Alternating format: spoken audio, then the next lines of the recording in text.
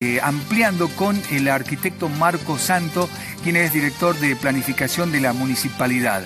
¿Qué se va a producir esta noche o esta tarde? Muy buenas tardes. ¿Qué tal? Buenas tardes. Esta tarde podemos decir que es un evento importante para la ciudad.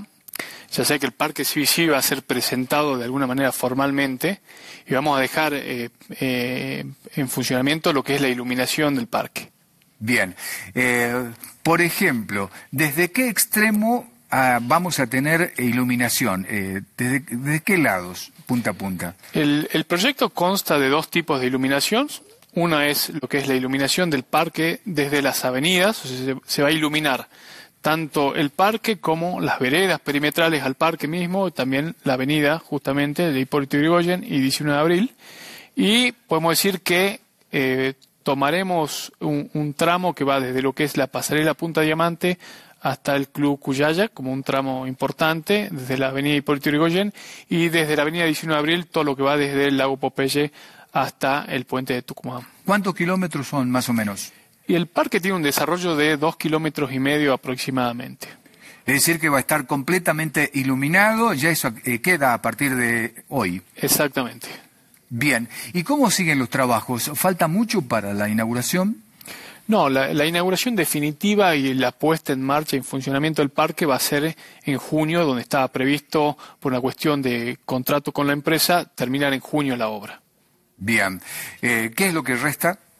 Son muy pocas cosas las que restan, son tramos de enlace, son tramos técnicos que nos permiten a nosotros llegar a ciertos lugares de la obra, por lo cual se ha interrumpido algunos tramos de, de caminerías y de bicisendas por los cuales esos son los que quedan por terminar, ¿no? Y algunos sectores que son plazas o algunos accesos específicamente. Eh, hay que estar tranquilos por si, por si hubiera lluvias fuertes, está todo planificado. Sí, este proyecto cabe recordar que tiene un fundamento muy fuerte eh, basado en un estudio hidrológico y en un proyecto hidráulico, lo cual a nosotros nos da toda la seguridad de que esto ya esta, este periodo de lluvias ya nos comprobó que esto funciona perfectamente. Bien. Arquitecto, eh, nosotros recordamos que hace algunos años, eh, justamente en la gestión del arquitecto Jorge, habían puesto unas luces eh, muy bonitas en los arcos del puente de la Valle. De noche, cuando nosotros veníamos a trabajar, era una iluminación parecía un puente europeo. Lamentablemente, algunas manos se ocuparon de sacar esta iluminación. ¿Va a estar cuidado este parque lineal, sobre todo el sector de iluminación?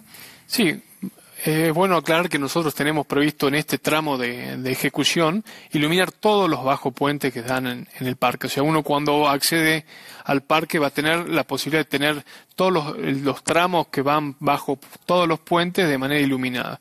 Y de manera puntualmente iluminado el puente La Valle porque va a tener una iluminación decorativa se va a tener eh, una, la posibilidad de tener color bajo el puente. Lindo.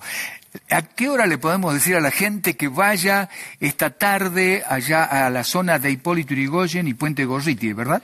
Eh, sí, Hipólito Yrigoyen y Puente Lavalle, también, también un punto de acceso que vamos a, vamos a presentar hoy a las 18 horas. Vamos a poder recorrer desde el Puente Lavalle hasta lo que es eh, pasando el Puente Gorriti, que hay un acceso hasta ese punto, todo ese tramo va a estar abierto al público hoy para que disfruten y conozcan lo que va a ser este gran proyecto. Es decir, para toda la familia que vaya, porque hay un espectáculo también, ¿no? Sí, pero no precisamente en el parque. Ajá. En la vieja estación va a ser. En la vieja estación. Sí, sí, sí. Correcto. Perfecto. Pero para todos los que quieran ir, conocer, bajar al lecho del río tranquilamente, ver esa iluminación va a ser algo muy lindo. El acto, eh, el acto central, eh, justamente a qué hora se tiene previsto? 18 horas en el parque, en el parque lineal. 18 horas. ¿Se ha adelantado entonces? Sí, sí, sí. Ah, perfecto. Teníamos entendido que era eh, dos horas más tarde, pero es importante que usted lo mencione. Sí, lo que es el acto en el parque va a ser 18 horas, después será posterior a esto en, en la vieja estación. Bueno, algo más para destacar, decirle al jujeño sobre este nuevo desafío que tenemos los capitalinos. No, simplemente invitarlos a que disfruten este, este gran lugar, este gran proyecto que, que potenció el intendente Jorge, porque es un lugar maravilloso uno que ya lo recorre todos los días está en el lugar, ya como que uno pierde cierta referencia de lo bien que uno se siente dentro de este lugar. Muy bien. Muchas gracias, arquitecto, como siempre, por estar con nosotros.